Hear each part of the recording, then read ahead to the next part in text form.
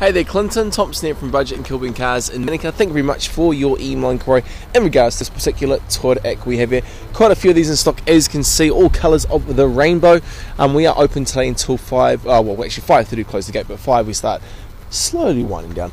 Um, but we'll catch you later on today. You know, you do have uh, brand new aftermarket rims on all four corners. This does have the nice dark trim interior as well. This is the latest shape, being a 2017, the same shape 2018 and 19 as well. I think they call it the second face, facelift actually.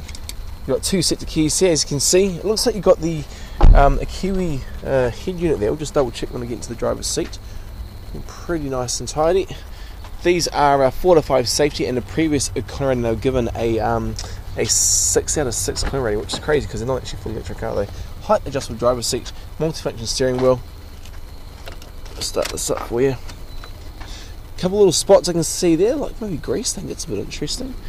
Um, hope we can clean up for you. Yeah, domain head unit. So that should be a DVD player um, uh, with SD, USB, and aux inputs as well, and Bluetooth, obviously. Um, catch you later on today. In the question, I suppose, looks like you got a bit of. Ah, see, so it's a, bit, a little bit rough around the edges. So you see a couple of cigarette burns, I reckon, there, down there as well. Far out. That's a shame because it is a nice car otherwise.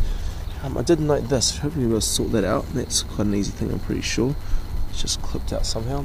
Um, what it's got completely beltless, um, no time out, no cam camera, no power steering, no air conditioning belt whatsoever. Long life transfer and long life coolant with only 44,000 k's. All the best and take care. See you, matey.